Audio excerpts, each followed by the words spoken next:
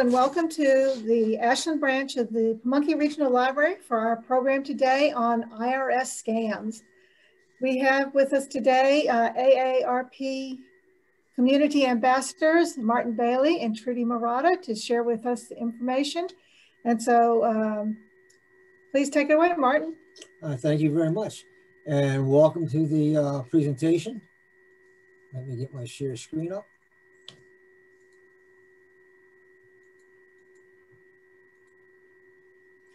Like Carol said, today we're going to be talking about income tax frauds or, or IRS frauds. And what we're going to learn is basically how to protect ourselves against this. Now, there's really two things that we need to take away from this presentation on almost all presentations that I give on scams and frauds. And that is that all scams are based on our emotional uh, reaction to what the scammers are giving us. And the only two weapons we really have, no matter what type of uh, warnings I give you or red flags I say you have to look for. The only two weapons we really have against scams are our due diligence and our vigilance.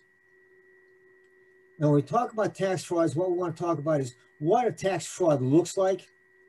What are the red flags or the warning signs that this may be a tax fraud? And also how to protect yourself against uh, tax frauds and these things that are coming up and just what you can do to, to protect yourself and pr protect others. Okay, the income tax fraud is any type of fraudulent activity that involves some kind of issue with either your taxes, your tax records, your tax return, something again dealing with the IRS. And again, it is some type of problem with that. A lot of the issues may include that you owe back taxes, that you have a refund due, there's some type of error in your tax records, or the worst one, which is going around right now during tax season, is the tax identity theft. And these attempts of fraud usually come in the form of maybe an email, a text message, a phone call, maybe a knock on the door. And the scammers right now are even using the U.S. Postal Service, which usually we always say the only time the federal government is going to contact you initially is going to be through the U.S. Postal Service. The scammers have obviously caught onto that, and they're doing the same thing now. Now, identity theft, when we talk about that, that is when the scammers steal your identity and they have enough information about you to submit a tax return in your name. A tax transcript scam, this is when the, uh, you'll get a uh, message from the quote IRS or the real scammers, and they will tell you that you have an issue, uh, usually with your tax transcript. And a tax transcript is a document which records all your tax uh, payments that you've made, usually used when you're trying to get a loan or trying to get, get some type of government assistance. The tax transcript may also have other documents uh, with it. So you have an issue with a tax return, or you have an issue with this document or that document. Again, some type of issue with a document that the scammer wants you to do certain things with. And then, of course, the infamous imposter scam. And when we talk about the IRS imposter scam, scammer will contact you and say that they are from the IRS. They will be very professional about it. They will give you, uh, they may give you the name, an employee number, may even volunteer to send you a, uh, through the email or a fax, a copy of their government ID, their identification badge, what the scammers are doing now. So they may do whatever it is to take to convince you that they are legitimate. And then what they're going to do is they're going to say that you have a problem with, again, your tax return, that you owe taxes to the government, or they need some type of uh, verification on your information, your tax information, in order to uh, pay you the uh, refund that you owe, or to uh, make sure that they're processing your taxes right. So these are the three basic scams that uh, go around during tax season, and the uh, the imposter scam and the transcript scams can go on any time of the year. Uh, one of the questions we ask people is, you know, do you or have you filed your taxes yet? Yes or no. Uh, so far, we usually get about a 50-50 uh, uh, response on this right here. About 50% say yes, they filed their taxes. 50% uh, say no, they haven't. And the reason why we ask this question, you'll find out later on, that it's very important to file your taxes as soon as possible. Okay, when identity theft strikes, what happens is Again, a fraudulent tax return is uh, sent in your name. Now, what happens is taxpayers usually delay in filing. And a lot of times you'll see on you know the April 15th date, all these people are cramming in the post office trying to mail their uh, taxes in or they're uh, cramming the internet, clogging the internet up, trying to get their electronic taxes in. So a lot of people, for whatever reason, delay in filing their taxes. And the scammers know this, and the scammers are going to take advantage of this. Now, one of the things that the IRS attempts to do is they attempt to pay taxes or pay your refund within, say, a three-week or 21-day time frame. So once you file, in about 21 days or so, hopefully you will be getting your refund back. Uh, and the victim files the tax return. This is how you start knowing that you've got a problem. When a victim, when you file your tax return and the IRS refuses to, refuses to process it and may send you some type of communication that you've already filed it and you've already got your return. Now here's what you have to look out for. When you file a return, the IRS sends you a notice indicating that you've already filed it and a refund's already been sent to you. That's a big red flag saying, okay, you probably have identity theft uh, done on your on your taxes. Okay. The next one, if you get a, a letter from the IRS, which is a potential identity theft. So the IRS has recognized that you are probably a victim of identity theft, and they sent you this this letter telling you this. You now have to contact the IRS and work through this identity theft issue. And then third one, uh, a big red flag is when the IRS notifies you and tells you that you failed to declare all your income. This will usually happen when somebody has declared unemployment using your name and the unemployment commission files that uh, document to the state or to the IRS and the IRS marries it up with your taxes and say, okay, you did not claim this. And they notify you and saying, hey, you've not claimed uh, all your all your income. So if you receive one of these types of notices from the IRS or your tax uh, state authorities, state tax authorities, chances are your identity has been stolen. Okay, how to protect yourself, and this was the reason for the question. You want to file your return as early as possible. As soon as you've got all your paperwork together, uh, either electronically file it, do it yourself, get with your tax preparer and have them do it, but file it as early as possible so the scammers cannot take advantage of, of that time lag in there. Once you filed your report or your uh, tax uh, information, you want to go to the site uh, www.irs.gov slash refund. Give about uh, maybe three four or five days for the, if you mail it, for the for the uh, tax return to get to the IRS, and then start checking on this particular website to find out what the status is. The IRS will show that they've received it, it's in process, or when the refund is actually uh, sent to you, or anything else that may be happening to your particular to your particular return. So this is a real good site that you're able to track your refund or your tax documentation with the IRS. The other one is know your tax preparer. Uh, what we talk about there is when you pick, choose somebody to do your taxes, have they been recommended by somebody else? Have you checked them out? Did you check their tax preparer ID out with the, with the IRS to make sure they're legitimate, that they're in good standing with the IRS? Have you checked the Better Business Bureau? If they're uh, associated with, say, uh, uh, one of the tax preparer companies, have you checked the company out to find, number one, are they in fact an employee? Uh, number two, what's your standing with the company? What is the company rate? If you've been able to walk into their office, how is your office? Is your office neat? Are there any papers laying around that you can look on their desk and find a social security number for somebody? So this is what you're looking for for your tax preparer. Uh, have they been recommended by anybody? What type of rating do they have? And, you know, go on social media, find out, are they on there anywhere? Has there been anything uh, derogatory about them? So this is what you want to look for because when you hand that information to that tax preparer, he has your total identity.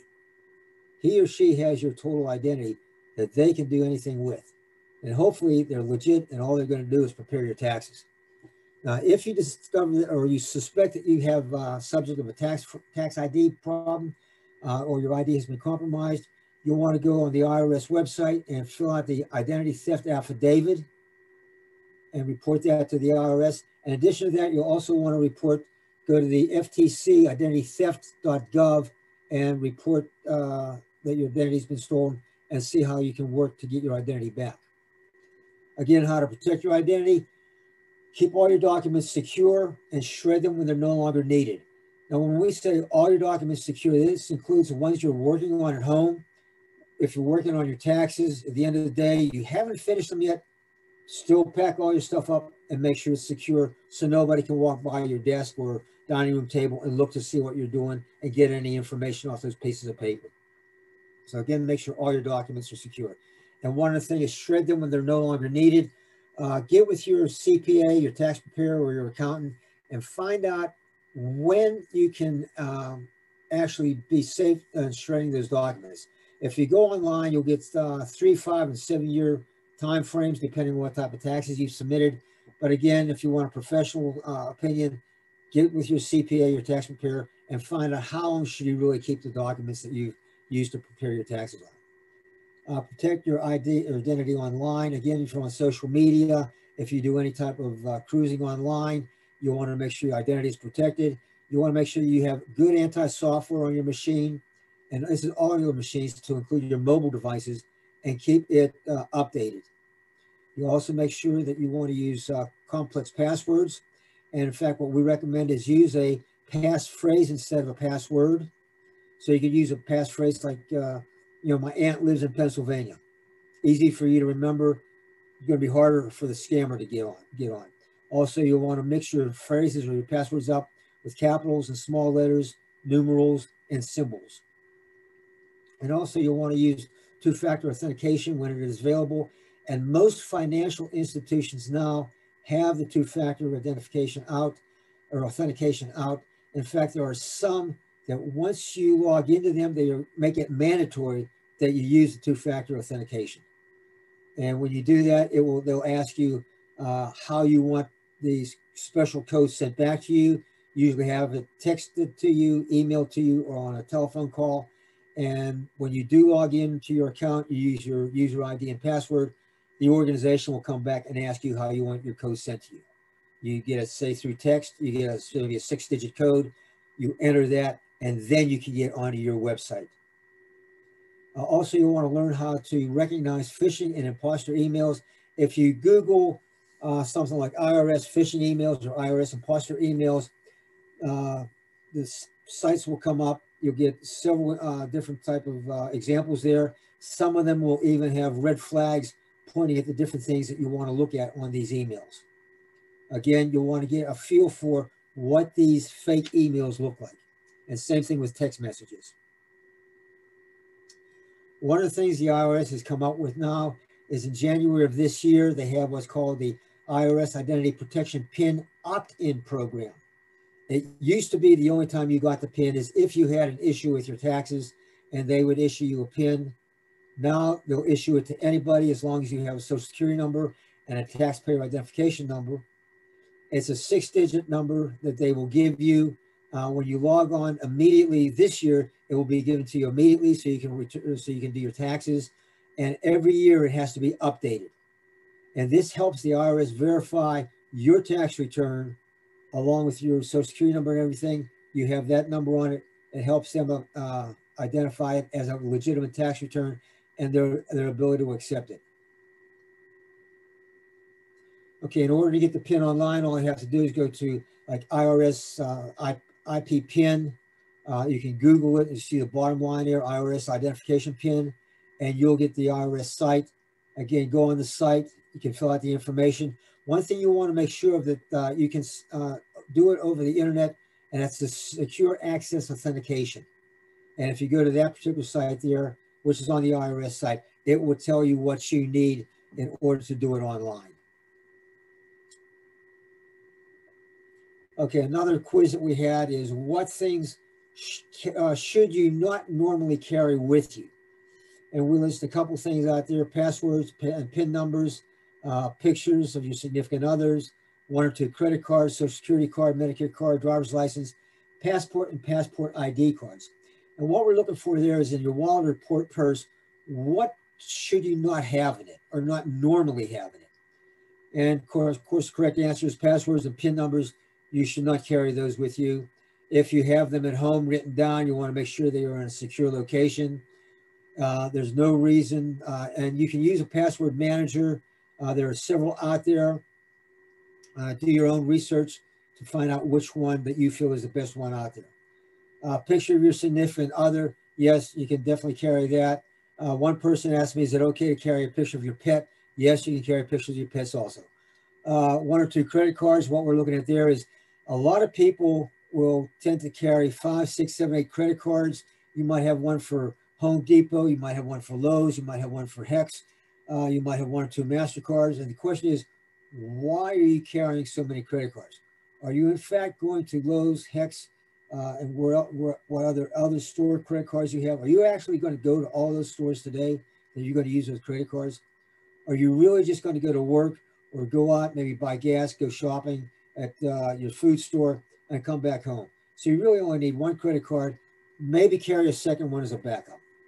Uh, social security card, you never have to carry your social security card unless you need it for identification. Uh, if you're, uh, say you got a new employment and your HR people need to uh, verify your identification, they may ask for your secure, uh, social security card. If you're getting security clearance, they may ask for your social security card. But other than that, uh, recommend keeping it locked up in a safe at home. Medicare card, uh, same thing. You do not have to carry your Medicare card with you. The 1986 Emergency Treatment and Labor Act basically says that if a hospital has an emergency room and accepts government funding, they have to at least stabilize you, which means they do it without any proof of insurance. So as far as carrying your Medicare card with you, unless you know you're going to see the doctor today, you do not need to carry it. That again is a personal choice. I recommend not carrying it. You can take a copy of your Medicare card, cross off the number, put it on the reverse side, in case of emergency, call my significant other. And by the time they stabilize you, they will have hopefully have your significant other on the phone, and they can they will be giving you or that person will be giving the Medicare card number or card number to the uh, hospital who's get, who's giving you care. Again, personal choice on that one. Driver's license, yes, of course, if you're going to be driving, you want to drive, take that with you. And passport or passport card, uh, only if you're uh, leaving the country or you're traveling abroad. Also, if you're on the border between uh, Mexico and the United States or Canada and the United States, you'll want to take your, your, usually a passport card will work in both countries. So you can have that with you. Other than that, it's recommended that you leave your passport at home and again, locked up in a safe. Okay, again, how to protect yourself. We recommend do not give out any type of personal information unless you know who's asking for it. What we recommend is unless you've made initial contact with that person and you know who they are, who they work for, why they're asking for your personal information, what the personal information is going to be used for, and even as far as how they store that personal information is what you want what you want to make sure before you give out any personal information. And personal information can be anything from your email address to your birthday to your uh, actual physical address at home. Any type of personal information, we recommend that, again, you made initial contact with the person and you know why they want it. Uh, when you get either text messages or email messages, we recommend do not click on any type of links or do not open any attachments unless, again, you are certain who sent it, why they sent it to you, and what the attachment contains. If Trudy would send me an email out of the blue and say, hey, Martin, you got to look at this attachment, I'd probably give her a call or text her and ask her, did you send me an email with an attachment on it? Now, one of the things, if you notice, I say I either give her a call or text her if she sent me an email you do not want to send or do not want to verify the uh, the uh, attachment or the person that sent this to you in the same way they sent you the information. You'll want to verify it in some other means. So if they send me a text, I want to do it through email or telephone call. And again, do not carry your social security card unless absolutely necessary. Okay, do not enter personal financial information on the website unless you know it is secure you can go to your secure websites and you'll see an HTTPS or a little padlock uh, icon up there. You know that's a secure site. However, scammers will also have sites that have the HTTPS or padlock. So unless you've actually logged into that site and you know for a fact that that is the site that you've always logged into and that is your credit union or your banking site, then I would highly recommend that you not just log into a site that somebody sent you through an email even if it's an email saying, you know, hey, this is your bank and we know we're notifying you because of this, log in here. Do not log in there. Go to your go to the, you know what the site is and log and type that site information in. Do not use the email or the text messages that they sent you. Uh, you want do not when you use when you're out to Starbucks or a hotel, you don't want to use public Wi-Fi when using anything that's password protected, or you're giving personal financial information over the over Wi-Fi. Uh, if you look at Wi-Fi, and this is where we're going to get to that virtual private network. If you look at Wi-Fi, public Wi-Fi, look at it as a uh, interstate highway with the data flowing. There's your cars on it, and that's the data, and it's flowing back and forth. And all the scammers are doing is looking to see what data is out there, and they're going to pick up one of the pieces of data, maybe change it around a little bit, see where it's going to, see some information on it, and put it back on the highway and let it go its happy way. The scammer can take literally take your transaction, and if you're depositing money into your bank account, change it into their bank account and let it go. Okay, so this is what uh, uh, unprotected or the public Wi-Fi looks like. When you use a virtual private network, and you can get the virtual private networks, a lot of your antivirus uh, software that you use on your computers and your personal uh, mobile devices have a VPN on it. Highly recommend that you use a VPN or that you get a VPN through some other source and use that VPN. And what that does is that basically puts a tunnel around your, your data. So you're sending your data up, but now the scammers can't see it because you, you have, it's going through a tunnel. Instead of on an open highway, it's now a tunnel. Uh, can that be breached? Yes. Scammers can breach anything, but again, this is an added level of security. And look at all these uh, added levels of security as building a wall, and we're just adding more and more bricks into the wall, so make it harder for the scammer to get to us. Okay. Uh, uh, tax transcript scams, how that works is a scammer is going to claim that they're from the IRS and they're going to send you an email and they're going to say that attached is either tax transcript or some other tax documents. In the subject line, you're going to see the transcript or whatever tax document they're sending you. It may have some type of urgent action required or action required, something like that there. Now the transcript, in case uh, a lot of people don't know what it is, it is a summary of all your tax returns. And people that are applying for loans or government assistance, sometimes the organizations they're applying to will ask the IRS for this uh, transcript. And what this does, it shows them that you were in fact paying all your taxes, you're timely in paying your taxes, gives them an idea of, of what your income level is or was. So it gives them a feel for, again, how credit worthy you are. Just another thing that they can check out. But again, a very important document uh, that, the, uh, like I said, the loan organizations use, government uh, organizations use to assess your credit worthiness. Uh, again, uh, the tax scammers may put that on, on the email, tell you, hey, it's attached, download it because you have an issue with it. Okay. It will either have the transcript or we'll have another document. Again, it's an attachment and the message is going to say, whatever's attached, it needs immediate attention. So you have to open it, download it and open it and make whatever corrections are needed to that particular document. As soon as you click it and download it, if you open it, chances are you're going to be loading malware onto your computer. Now, malware is some type of virus that's either going to take over your computer, uh, gather all your personal information on, that's on your computer, send it to the scammer. Uh, it may hold your computer for ransom. It will basically tell you that, you know, I have, or the scammer now has your computer. In order to get your computer back, you have to pay so much money to us. So it can do various things to your computer. Again, if you download that attachment, uh, or even on a text, if you click that URL on the text, it will usually download some type of malware on your device.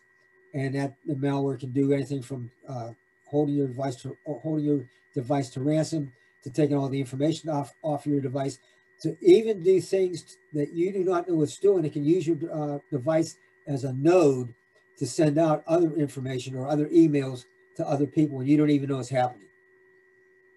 So these are things that you have to watch out for. Again, do not open that device or the attachment is going to probably contain malware, infect your computer. The best thing to do is delete the email. Uh, if you want to, you can send it to phishing at irs.gov, send them a copy of the email. And what the, what the government does is they look at these emails and they try to find okay, where they're coming from. And if they can build up enough data they might be able to stop this type of email from happening, or at least this type of e email from happening from that particular scammer. Now, remember, the IRS nor any of the federal government agencies will not send you any unsolicited emails, uh, nor when they send you the email are they going to attach any type of sensitive information to that email. Okay, another question we have is, would you answer a phone call that when you look on your uh, uh, uh, identification thing, your display, that it says, you know, it displays IRS, and it gives you the 1-800-829-1040 number. The question is, do you answer the call?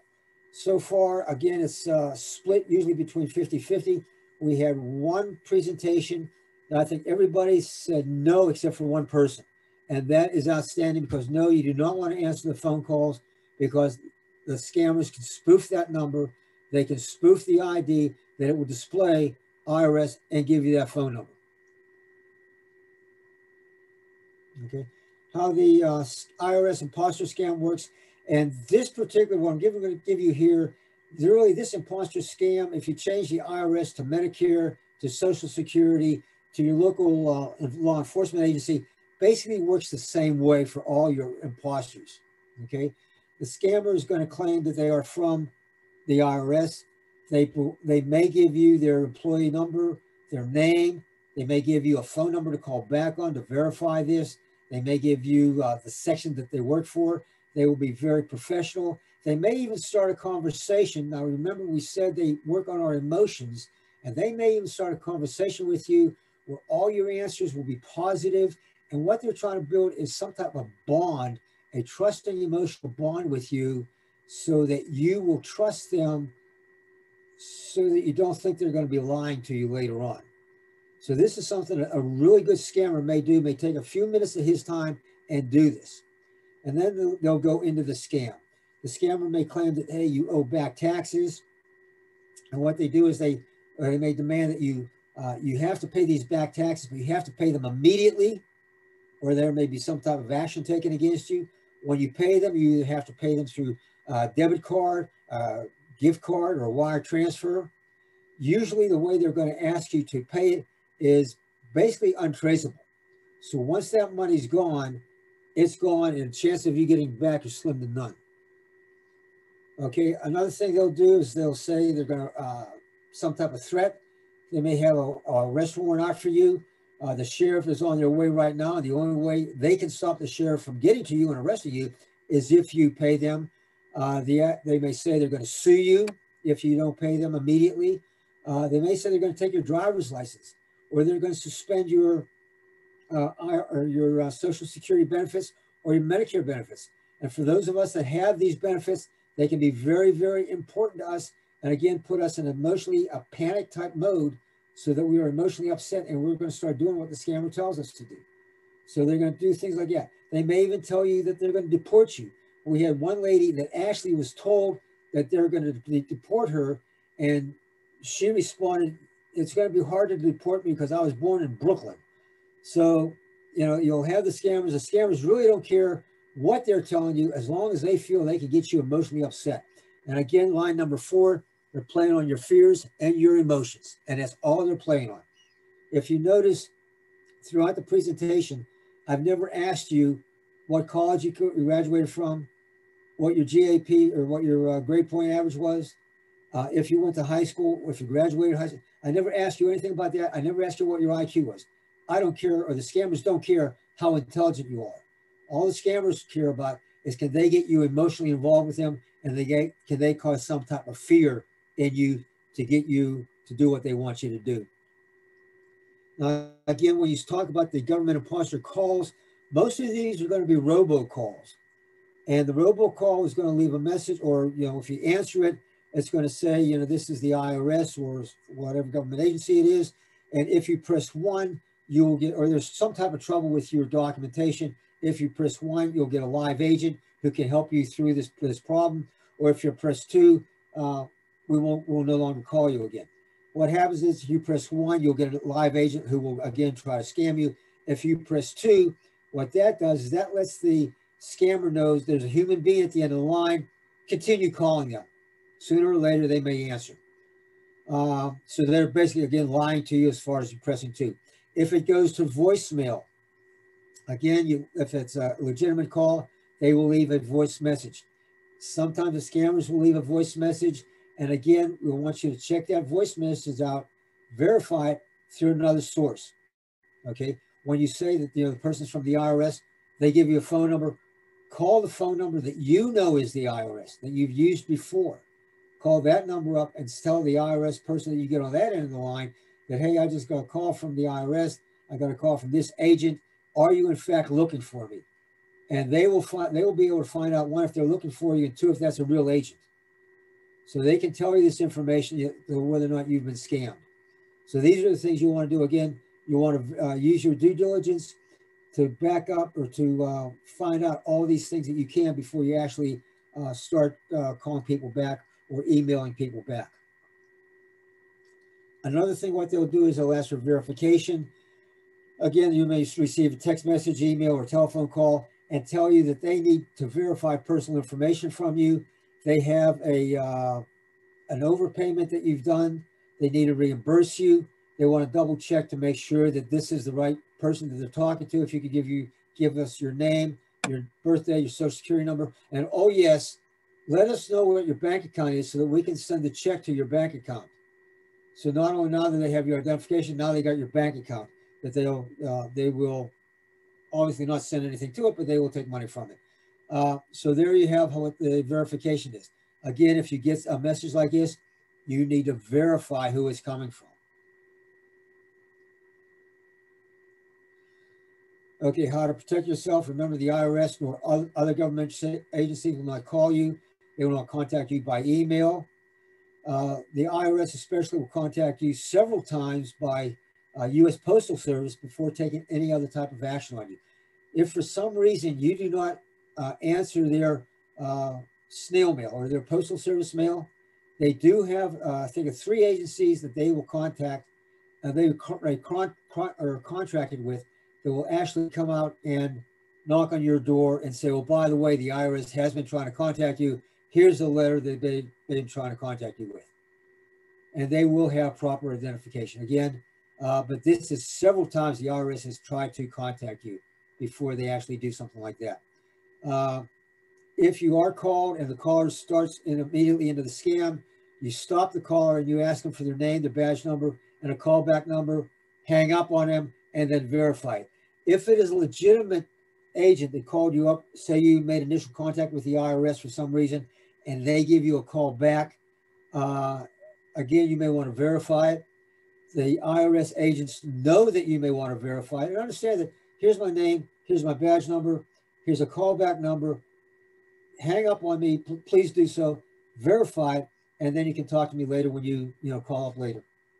So they understand that this is going to happen to you. Again, you want to, uh, you may want to Google like fraudulent IRS email messages, get an idea what these messages look like. Again, there'll be uh, several sites out there. They'll actually have a message uh, constructed and actually have little red flags that are on the message to look for, like addresses. You know, they say it's from the IRS, but when you look at the address, it's from Google Mail or from Gmail. So why is the IRS using Gmail? If you run your mouse over the URL, it's supposed to take you to the IRS site, and you look down at the bottom of the screen, and the URL doesn't go to the IRS site, it goes somewhere else. Or another thing you want to be careful of, if you run your mouse over the URL and there's at the bottom of the screen there's a very short URL. We recommend absolutely do not connect on or uh, contact that URL.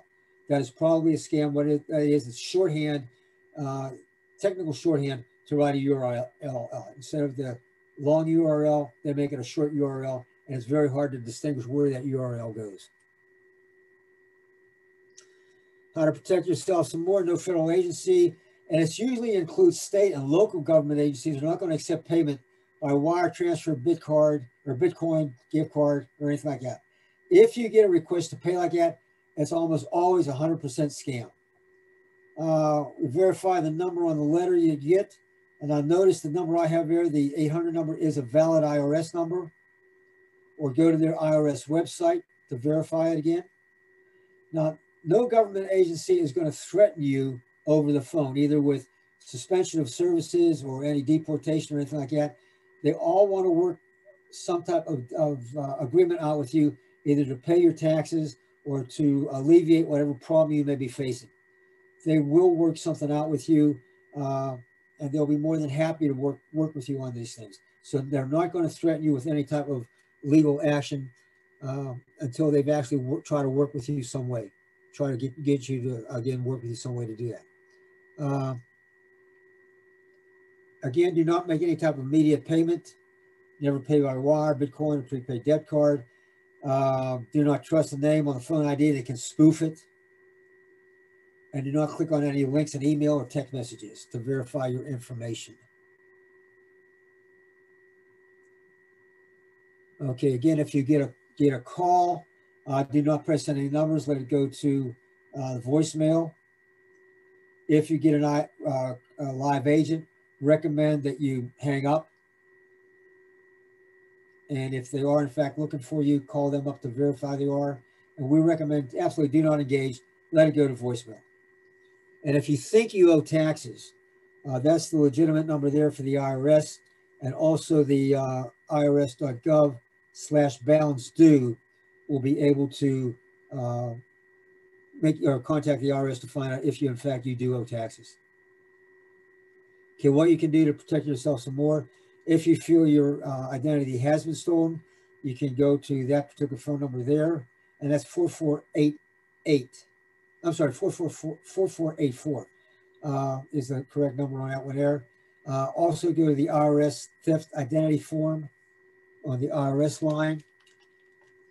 Uh, you can uh, file a complaint with the Federal Trade Commission. What I would recommend if you go to the Federal Trade Commission, and the bottom one, that identitytheft.gov, you'll want to go on that particular site just to look at the site. It's a very good site and a lot of good information on that site.